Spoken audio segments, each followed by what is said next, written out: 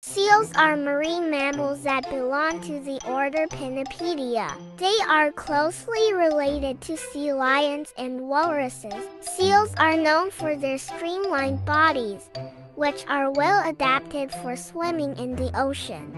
Here are some key facts about seals. Number 1. Diversity. There are over 30 species of seals, and they are found in both the northern and southern hemispheres. They inhabit a wide range of habitats, including coastal areas, polar regions, and even some freshwater lakes and rivers. Number 2. Physical characteristics. Seals have a fusiform body shape with a tapered head and torpedo-shaped body. They have flippers instead of feet which they use for swimming. Seals have